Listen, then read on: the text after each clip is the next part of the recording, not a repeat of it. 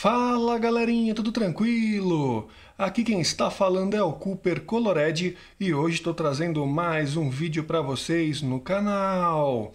Hoje eu quero mostrar um pouco do meu leitor de DVD externo que eu comprei agora, ontem na verdade, né? Eu paguei 80 reais aqui no centro de São Paulo. Existem vários modelos e marcas de leitores de DVD, tá? Esse é o mais barato que eu achei aqui pelo menos em São Paulo, paguei 80 reais. Eu cheguei a ver ele por 150 reais, 120 reais, eu pesquisei bastante, paguei em dinheiro, ele saiu mais barato, ok? Bom, ele é um leitor de DVD externo, 3.0 USB, tá? Funciona em 2.0 também. Ele é Pop-up Mobile External, DVD RW aqui, né? Ele não tem marca específica, mas funciona, tá galera? Eu já testei no meu PC, no meu notebook aqui, Coloquei um DVD com programa para abrir no meu computador, funcionou no notebook também. Peguei um DVD original meu do filme Halloween, coloquei também, abriu normal, tá? Funcionou perfeito, tanto no computador como no notebook. Na Smart TV, eu testei. Ele não funcionou. Não sei se é na minha TV que não funciona ou se ele não funciona em Smart TV, tá? Então fique esperto aí, se você for comprar para usar na TV, não sei se vai funcionar, mas no computador, no notebook funcionou perfeito. Por que, que eu uso isso?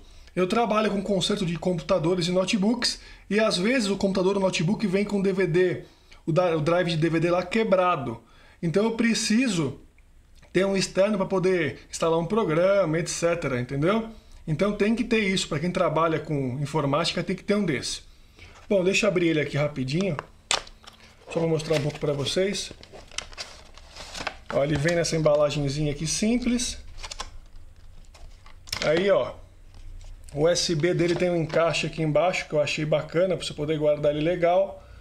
Puxa aqui, ó, ele sai.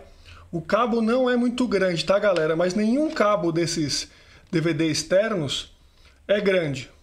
Não é comprido. Então, é, eu tô acostumado já. É mais para usar com notebook, na verdade. Você põe o notebook aqui assim e põe ele do lado já no USB e usa. Certo? Como eu disse, ele funcionou perfeitamente no computador e no notebook. Coloquei um DVD de programa, coloquei um DVD de filme original também, abriu perfeito, tá? Se você precisar abrir ele e não tiver ligado no USB, tem um furinho aqui, tá vendo? Você coloca um clips ou um alfinete aqui nesse furinho, ele já vai abrir aqui a portinha para você poder de repente tirar um DVD que ficou aqui, etc. Eu achei ele muito bom pelo preço que eu paguei. Se você pesquisar na internet, 80 reais está num preço ótimo, tá? Então, se você tiver na dúvida de comprar esse aqui, pode comprar sem medo que ele funciona para notebook e computador. Como eu disse em TV, na minha não funcionou, ok?